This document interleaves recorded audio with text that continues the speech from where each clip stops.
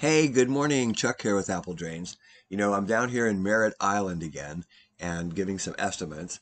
We've done so much work in this particular neighborhood, so I stopped by to take a look at one of the jobs we installed several years ago. And the woman has got her house up for sale, and she said, Chuck, thank you. This drain is working so good. We have had no problems, and even the prospective buyers have commented on how well the drain works. Take a look. Hey, good morning. Chuck here with Apple Drains. Today we're down here in Merritt Island, um, Cocoa Beach, Florida. Interesting little problem, something the homeowners could definitely do themselves, not a real hard job. Um, but what's been happening here is you can see their pool, you see the lanai, that's the screen enclosure, and water's been flooding in this area really bad. And you can see what's happening underneath of their pool patio. It's just eroded so bad underneath of here, it actually goes all the way over to the pool wall. Water has been collecting in this low spot from not only this yard, but the yards behind her as well, and it just pours down through here, and of course it's been eroding underneath of this, and, and this is going to crack. It already has cracks in it. We want to stop that. So this is why you need to put this typical drain in. And what we're going to do is put a French drain with a couple of catch basins. Remember, a French drain is perforated pipe surrounded by gravel. We're going to encase that in fabric. That will run between here and back where Dan's laying out the tarps. We're going to put a sump pump over here because this is Florida and it's very, very flat to send things out to the street. So we're going to actually lift the water up. It'll come all the way around. Very typical, a long discharge but the good Zoller M53 will easily push this water around and of course it's going to go out to the front yard. We're not going to go all the way to the street because there is fall after you get past the fence it starts to go downhill over there. So we have our trench dug for the French drain. Now we're going to lay some geofabric down in the trench and then we'll set some gravel down under, you know, on the bottom of the trench, our perforated pipe more gravel, and then we'll cover that with the fabric and then cover up the area.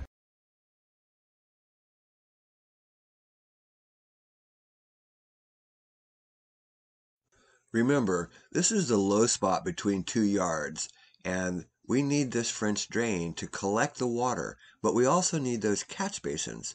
So basically, we're just using a soil separator to keep our gravel contained.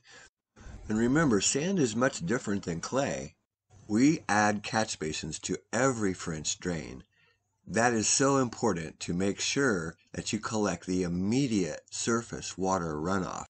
Catch basins are different than downspout drains and you can add them directly to your French drain. So now we're just backfilling. You can see this line starts with a catch basin.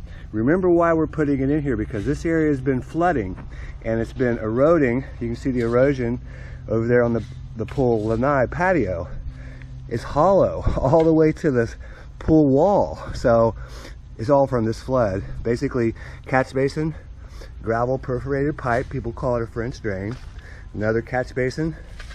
Then we change to solid pipe, and that runs into the sump pit. That's going to collect all this water back here in the backyard. Humid out here. okay, we're ready to go ahead and put our pump down in the pit. You can see our pit right here. We're going to set our M53 down in the bottom, kind of square it up in the center. Next, we're going to cut a little piece of inch and a half pipe, and then we're going to turn it, and we're going to core a two inch hole through here.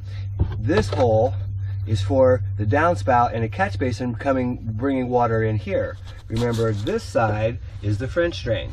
This pump will handle all of that, no problem. This pump pumps between 60 and 80 gallons a minute, um, depending on the head, which means how far and high it's pushing it.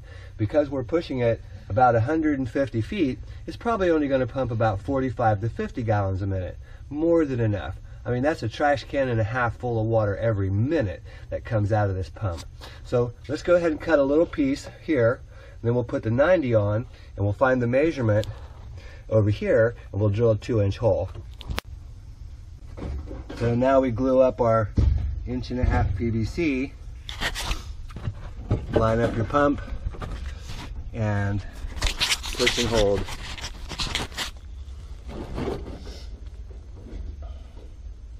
And that's ready to go. So we've already glued this small insert, tightened up all the clamps. You can see our inch and a half is going to come out. So you can see how the inch and a half PVC discharge lays out. And we're going to trench that, put that underground. It'll discharge to a pop-up out in the front. Okay, so we're pretty much done. We've covered things up. Let's take a look. The line starts here at a small 6x6 catch basin. This picks up, let me step back. This picks up all this groundwater that comes down here from this section of the yard and around. It all travels down and around and comes through. It also picks up the neighbors' yards and their downspout drains because they're all pointing back this direction.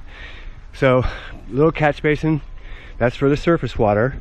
Then we've got gravel perforated pipe underneath that sod. That's the French drain. That collects the subsurface water. Another catch basin to help pick it up. Solid pipe into our sump pit. Remember, we've got a Zoller M53 down in that pit. So now we've got solid pipe coming from this downspout over here. picks up that roof. All of that roof comes down comes through that downspout. We've added that line. We also added a catch basin here because this patio slopes so dramatically this direction and water's getting trapped here as well. So that picks up more surface water over to the pump. We've also got our inch and a half pipe running underground all the way out here to the front and I'll show you where that discharges.